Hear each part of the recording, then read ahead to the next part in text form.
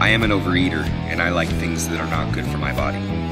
I acknowledge I have an eating problem that is difficult to control on my own. I am committed to change my ways and take control of my health, weight, and lifestyle.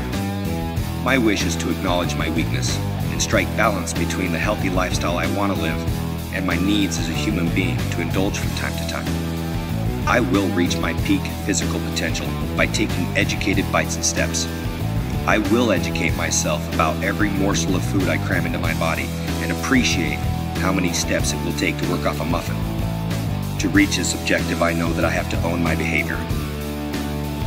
Others in life will probably not share my goals, and both of our achievements will reflect that. I will not be influenced to do anything that will prevent me from reaching and maintaining my goal of a fun and healthy lifestyle. I have no excuse. I will not excuse, and I am not an excuse.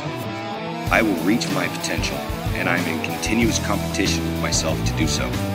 My name is David Kimmerle, and every day I work to be a success story.